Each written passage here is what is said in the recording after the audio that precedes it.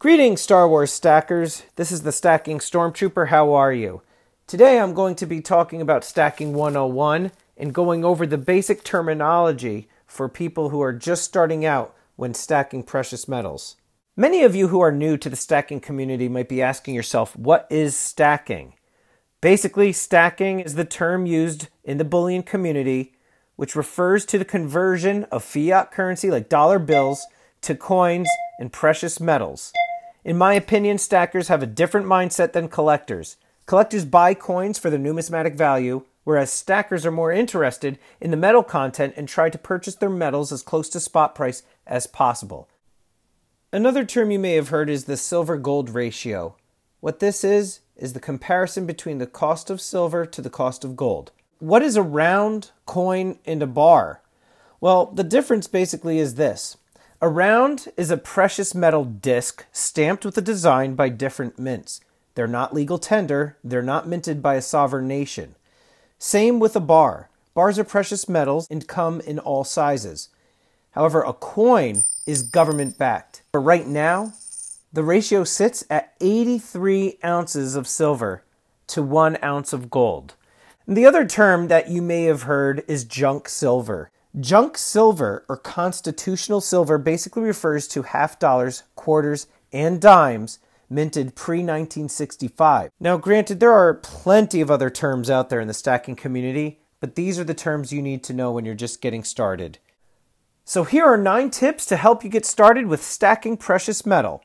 Tip 1 Set an initial budget. Usually, I tell my friends and family to start with an initial investment between $500 to $1,000 for their first purchase. If you don't have that much to start, no sweat. You can start with much less. Tip 2 Comparison shop. Hunt for the deals.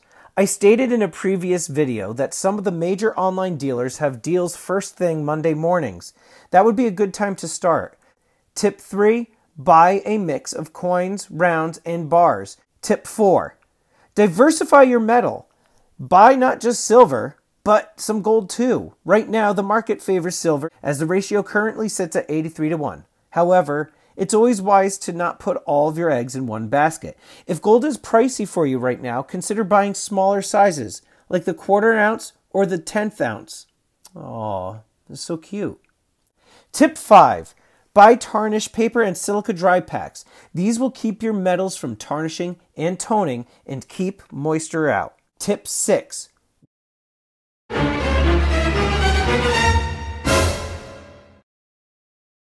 Wear gloves when handling your metals. The oils from your hands will tarnish your metal. Tip 7 Think of storage solutions like a safe bolted to your floor or a safe spot in your home. Additionally, have a couple hiding spots so that your entire stack isn't all in one place. This will hedge your risk of losing everything to theft. Tip 8 Do not store your metal in a bank safe deposit box. What if you need to access your metal and the bank is closed? Additionally, if there ever were a flood, fire, robbery, etc., the bank's insurance doesn't cover your contents in the safe deposit box.